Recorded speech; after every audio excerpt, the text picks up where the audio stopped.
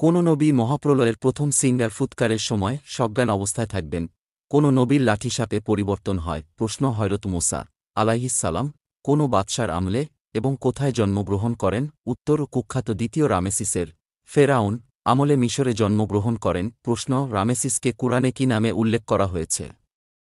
উত্তর ফেরাউন নামে হয়রত মুসা আলাইহিসালাম এর প্রতি আল্লাহর তাওরাত কিতাব নাইল করা হয় এবং তার অর্থ আইন, প্রশ্ন, কোনো দুর্যোগময় মুহূর্তে তার জন্ম হয়। উত্তর, যখন মিশর সম্রাট ফেরাউন ইসরায়েল বংশের বালক ও সদ্যপ্রসূত শিশুদের হত্যা করছিল। প্রশ্ন, ফেরাউন কর্তৃক ইসরায়েলি শিশু সন্তানদের হত্যার কারণ কি?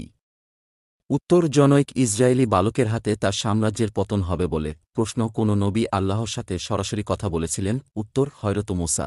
আলাইহিসালাম প্রশ্ন, এজন্য তাকে কি উপাধি দেওয়া হয়? উত্তর, কালিমুল্লাহ। প্রশ্ন, কোন পর্বতে তিনি আল্লাহর সাথে কথা বলেছিলেন? উত্তর তুর্স পর্বতে। প্রশ্ন, কোন নবীর লাঠি সাপে পরিবর্তন হয়? উত্তর, হয়রত মুসা।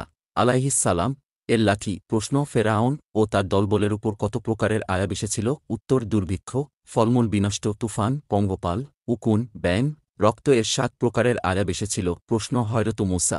আলাইহিসালাম কীভাবে মিশর ত্যাগ করেন? এবং অভিশপ্ত ফেরাউন ও তার দলবল কীভাবে ধ্বংসপ্রাপ্ত হয়।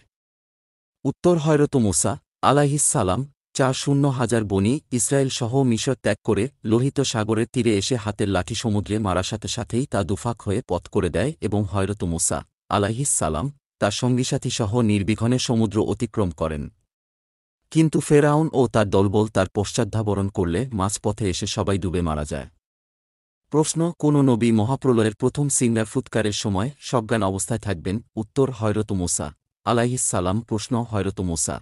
আলাইহিসালাম কত বছর জীবিত ছিলেন? উত্তর, এক দুই শূন্য বছর। প্রশ্ন, বর্তমানে ফেরাউনের লাশ কোথায় রক্ষিত আছে? উত্তর, মিশরের রাজধানীন কায়রোর জাদুঘরে।